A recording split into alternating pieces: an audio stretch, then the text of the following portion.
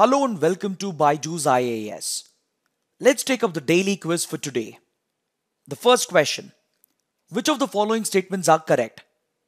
Article 155 of the Constitution of India provides for the appointment of the governor of a state by the President of India. The governor can be removed only in a manner similar to the Chief Justice of India. The Sarkaria Commission had recommended that governors must not be removed before the completion of their five year tenure except in rare and compelling circumstances. Amongst the given statements, the second statement is incorrect, whereas the first and third statements are correct. So option C is the right answer. See, Article 155 of the Constitution does provide for the appointment of the governor to a state by the President of India under his warrant and seal. But Article 156, which deals with the removal of the governor, states that the governor can be removed by the President because the governor holds his office during the pleasure of the President. So once the governor does not enjoy the pleasure of the President, the President can remove the governor and hence this makes the second statement incorrect. Article 156 clearly shows that the governor does not enjoy the protection that is provided to the judges of the Supreme Court, including the Chief Justice of India, as far as their removal is concerned. So the governor holds the office during the pleasure of the president, and hence the president has complete powers to remove the governor whenever he requires. But however, please note that this is not a discretionary power of the president, because according to Article 74 of the Constitution, the president is bound by the aid and advice of the Union Council of Ministers. So essentially, the central government can decide upon the appointment of the governor and as well as his removal. But it has often been observed that central governments they remove governors arbitrarily and this power of appointment and removal places the governor at the mercy of the central government. Hence, it is often seen that the office of the governor is misused for political purposes in order to interfere with the functioning of the state government, especially if the state governments are ruled by opposition parties. And this leads to the labeling of the governor as the agent of the center. So it has often been observed that when a new government is elected at the center, several governors are removed, especially those who are appointed by the previous governments. And this lack of tenure to the office of the governor and the misuse of his office for political reasons has been taken note of by the Supreme Court and as well as by several commissions. For example, the Supreme Court has recognized the power of the president to remove the governor as and when he requires. But however, it has also laid down a few conditions. In the BP Singhal judgment of 2010, the Supreme Court laid down a few conditions for the removal of the governor. The Supreme Court has said that the governor can be removed by the president only in rare and compelling circumstances and not because the governor is not agreeing with the ideology and the decisions of the center. Even the Sarkaria Commission pointed out in 1988 that governors must not be removed before the completion of their five year tenure except in rare and compelling circumstances. Then, even the Punchhi Commission provided a recommendation for deleting the term pleasure of the president from Article 156 in order to reduce the discretionary powers of the center as far as the removal of governors is concerned. This question on the removal of governor has been asked because we have a related article on page number 1 of the Hindu. According to this article, the Lieutenant Governor of Puducherry, Kiran Bedi, has been removed by the President of India.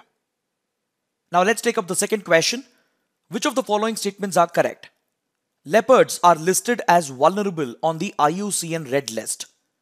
Rosettes of each leopard are unique in shape and size making the species identifiable individually and hence used as a reference in their census. Both the statements are correct, hence option C is the right answer. This question has been asked because we have a related article on page number 6 of the Hindu. See, the leopards are a threatened species that have been listed as vulnerable on the IUCN Red List. The article refers to the census of leopards in the Manas National Park of Assam and it points out that the rosettes on a leopard is similar to the stripes of a tiger. See, rosettes are nothing but the black circular markings on the coat of a leopard, and these rosettes are unique in each leopard in their shape and size, just like the stripes of a tiger, and hence they can be used as a unique marker to identify each individual. Now let's take up the third question. Which of the following are correctly matched? On one side, we have a list of Mars missions. On the other side, they've been matched with a set of countries. So we need to check whether they are correctly matched. First, we have Hope matched with UAE, next Perseverance with United States of America, and third, Tianwen 1 with Japan. Amongst the given options, the first and the second are correctly matched. So option B is the right answer. See, recently the UAE successfully inserted the HOPE orbiter into the Mars orbit. With this achievement, UAE became the fifth nation to reach Mars successfully after the United States, Russia, European Union, and India. In fact, UAE has even managed to overtake China in this regard. Then, in the coming days, the NASA of the United States is pursuing another Mars mission known as Perseverance, and similarly, China is also slated to induct its Mars mission into the Mars orbit known as Tianwen 1. So, this is a mission of China, not Japan. Hence, the third option is incorrect. This question has been asked because we have an article in the Indian Express that explains the series of Mars missions that are being executed by different countries, including the UAE, the United States, and China. Now let's look at the fourth question. What does the Mahabahu Brahmaputra initiative offer to the northeast of India? The correct answer is option C. It is aimed at providing seamless connectivity to the eastern parts of India. This question has been asked because, according to this press release from the PIB, the Prime Minister will be launching the Mahabahu Brahmaputra initiative, which will provide for inland navigation based connectivity in Assam and other northeastern parts of India. Under this connectivity initiative, a RoPax vessel or a roll on roll off passenger vessel will be inaugurated to carry out operations between the Majuli Island and northern and southern parts of Guwahati and several other parts of Assam. This initiative is designed to improve connectivity in the eastern parts of India and also to promote development activities in and around the Brahmaputra River and as well as the Barak River. This connectivity project is designed to facilitate the movement of goods and it is likely to reduce the traffic in the congested Siliguri corridor, which is a narrow patch of land that connects mainland India with northeast of India. Because the strategic Siliguri corridor is already overcrowded with very high traffic carrying goods between the northeast and the ports of Kolkata and Haldia. This inland water navigation based transport is also going to facilitate the uninterrupted movement of cargo towards the northeast even during the flooding season and it will help improve connectivity to the northeastern states such as Meghalaya and Tripura and even to countries such as Bhutan and Bangladesh. Now let's take up a practice question from the 2020 prelims paper. With reference to carbon nanotubes, consider the following statements. They can be used as carriers of drugs and antigens in the human body.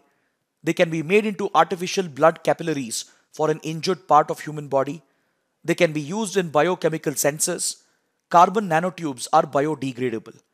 All the four statements are correct and hence option D is the right answer. See carbon nanotubes they find numerous applications in biomedicine. Now, coming to the fact of the day, we shall talk about an institution known as the Animal Welfare Board of India. See, the Animal Welfare Board of India is a statutory body and an advisory body to the Government of India. It was established in 1962 as per the provisions of the Prevention of Cruelty to Animals Act of 1960. This was a landmark legislation for India because it highlighted the need to prevent animal cruelty and to promote animal welfare. And India became one of the first countries to pass such a law and provide for the establishment of a statutory body such as the Animal Welfare Board of India. Back in 1962, this was the first kind of its institution in the world, and the credit for enacting this law and for establishing this institution is often given to Srimati Rukmini Devi Arundale, a noted humanitarian, animals rights activist, and as well as a noted artist. So, through the Prevention of Cruelty to Animals Act, the Animal Welfare Board of India was set up, and its mandate is to strictly enforce the animal welfare laws in the country and as well as to provide grants to animal welfare organizations and advise the government of India with regard to animal welfare and with regard to prevention of animal cruelty. This board consists of 28 members and these members enjoy a term of 3 years. The headquarters of Animal Welfare Board of India was established at Chennai and recently in 2018 its headquarters has been shifted to Ballabhgarh in Haryana. It functions under the Ministry of Fisheries, Animal Husbandry and Dairying. This board is responsible for promoting the humane treatment of animals and to prevent animal cruelty, and it comes out with regulations for animal testing in the industry, especially in the pharmaceutical and cosmetic industry. And it also regulates the usage of animals and its possible abuse and misuse in the entertainment industry, especially in circuses and movies. It also lays down the humane standards of treatment in slaughterhouses, and it is often in news for the controversy surrounding sporting festivals such as Jallikattu of Tamil Nadu and Kambala of coastal Karnataka. So, with this, let's end our discussion for today. Thanks for watching.